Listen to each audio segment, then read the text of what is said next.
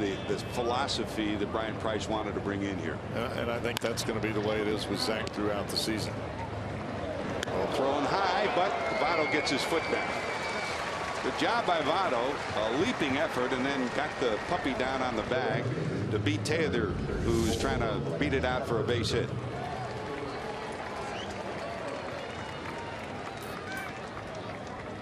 Looked like DeJesus got underneath that. He it was a routine play, had plenty of time to throw, but he dropped his elbow just enough and the ball began to sail. Devon's been solid wherever you put him. Second, third, or short where he's played for the Reds this year. And they're waiting because Dusty Baker's held up his hand for the home plate umpire Doug Eddings. They may want to challenge it. It appeared that Votto got back on the bag in time.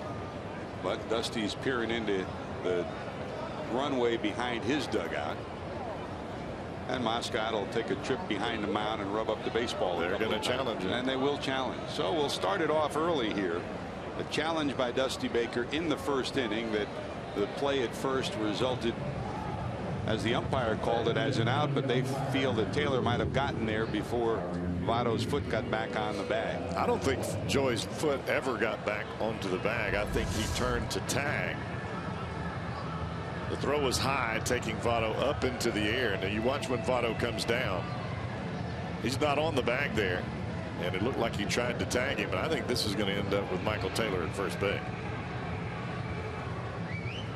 Oh, no. Yeah, it looks like heel on might have been on May have gotten that heel on there. Well, in New York, they have every angle imaginable. The ones we have, plus the ones that are in the ballpark, the ones that the visiting Washington Nationals have as well. You could see the back of Votto's spike kind of crinkle a little bit and the bag as well. It didn't look like it from the first to second base angle but once they gave you the angle that was down from home plate to first base you could tell that that hill came down on the bag. More often than not they're getting it right.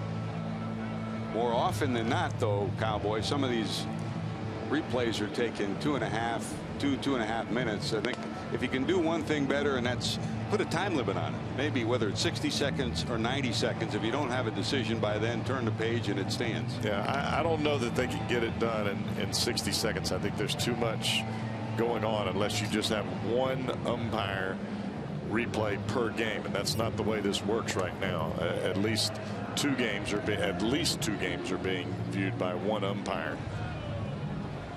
And I think I think if you gave him a two minute limit, you'd be all right. But I think he is out. He is out. The crew chief Jeff Nelson confirming that he is out. Out at first. Reaffirmed and Joey Votto got the heel on the bag so two away. I, I would think that in that situation if Votto knew that he didn't hit the bag when he came down he would have reached much more aggressively towards the base runner.